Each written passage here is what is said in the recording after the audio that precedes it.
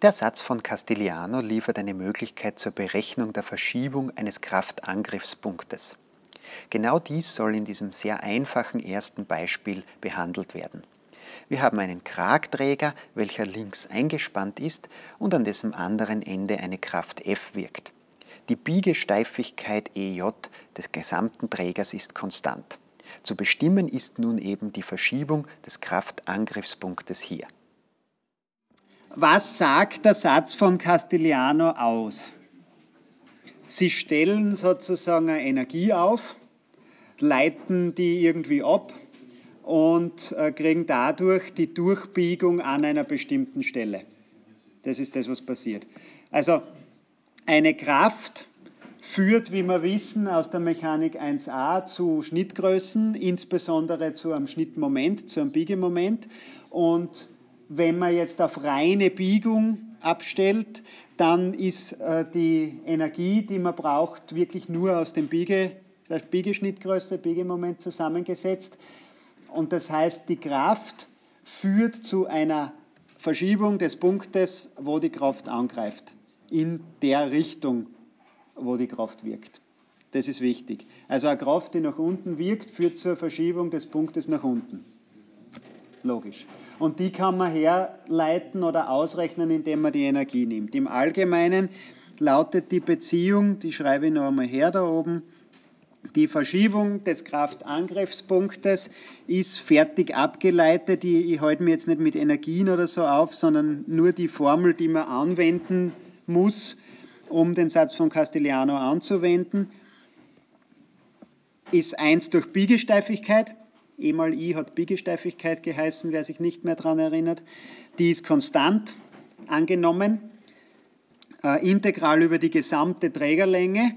Wenn es verschiedene Abschnitte gibt, haben Sie gesehen, bei den Übungsbeispielen muss man natürlich wieder verschieden integrieren, weil ja verschiedene Schnittgrößen rauskommen.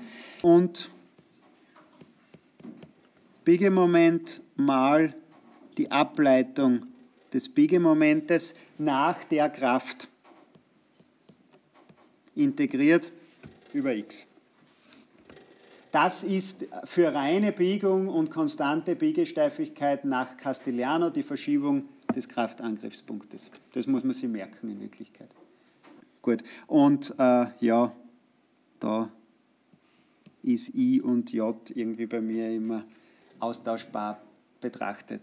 Also man sieht ja aus dem Kontext, was ein Flächenträgheitsmoment ist und was ein Massenträgheitsmoment ist und das ist nicht immer konsistent, was, was wie heißt. Wenn die Vorlesung J schreibt, dann schreibe ich AJ. Dann schreibe ich da AJ. Was muss man hier tun? Naja, man muss einmal die Skizze ergänzen. Ich glaube, das ist aus den Antwortmöglichkeiten eh hervorgegangen, dass der Träger L lang ist. Was braucht man? Schnittgrößen. Wir müssen zumindest die Schnittgröße Biegemoment bestimmen, weil sonst kann man den Satz von Castellano nicht anwenden, wie man sieht. Von welcher Seite würden Sie vorschlagen, dass wir schneiden? Von, ja, also ja, von, genau, also von der Kraftseite weg, ja, genau, genau. Wobei, ähm, ja, in Wirklichkeit ist es komplett egal. Ich bleibe jetzt momentan aber noch dabei, dass ich die Laufvariable trotzdem von links laufen lasse.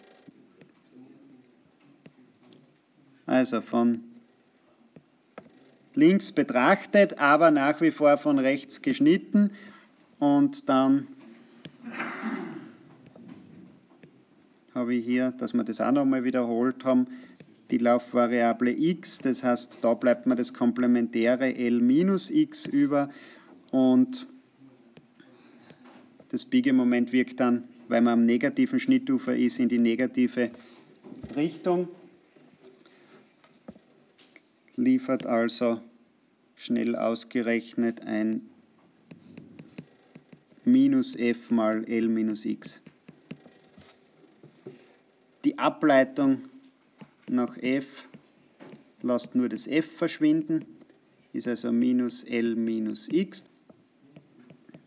Das heißt, unsere Verschiebung ist 1 durch EJ dann in dem Fall, Integral 0 bis L.